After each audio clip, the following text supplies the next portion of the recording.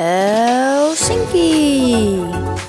We visited some highlights and in the evening we had a special experience in the sauna. First we were very warm and then we cooled down in the snow.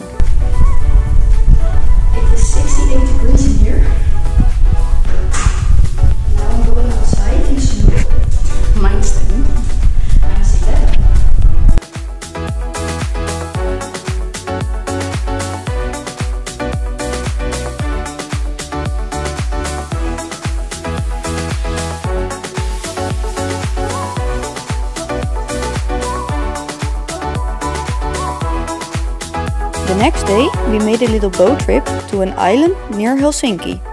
We had to sail through the ice before we arrived there.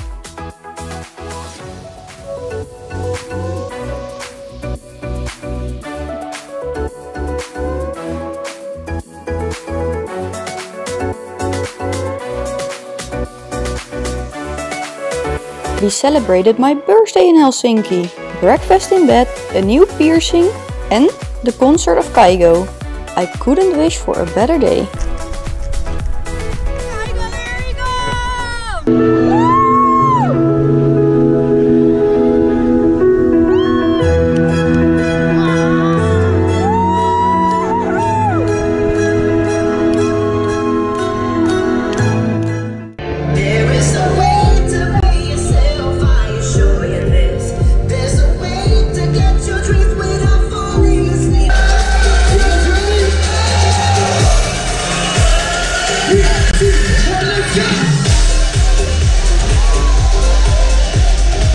And now we are heading towards a new adventure.